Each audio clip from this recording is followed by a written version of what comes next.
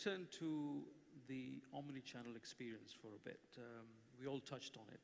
And in a world where everything is becoming digitized, it seems to be still a need for physical channels, whether it's a service center or a contact center.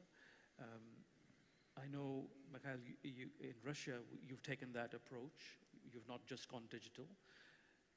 Keen to hear why and what's been the experience behind that.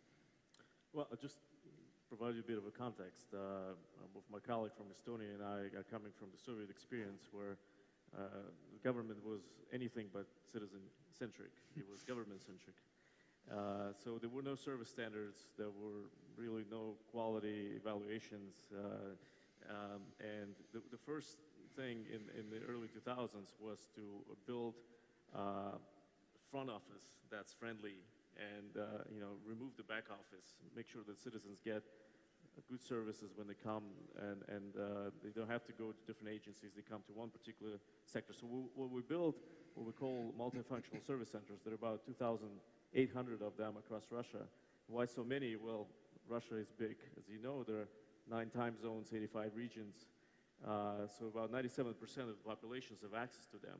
So that was the first step to improving uh, citizen-centric approach because really trust is built when you get good services.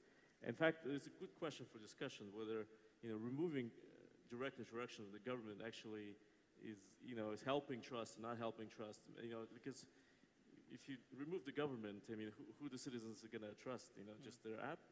Uh, so uh, for us, it's important to keep those multifunctional service centers working and they're working well. The satisfaction is above 90% because people get services fast. Uh, and, and to slowly introduce digital uh, because not everyone is digital savvy. There's an older population that's easier for them to come in and receive physical services. So uh, we're going to phase them out, but it's going to be a slow process.